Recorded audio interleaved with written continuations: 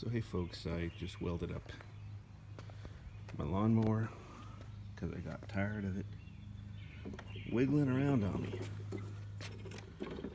Wiggle, wiggle, wiggle. It must have moved four times that amount. So, welded on a couple nuts in the opportune places. And then took care of this wiggle point too with a few welds. That should hold well. Problem solved. Game changer. New lawn. Very happy. Thanks for watching.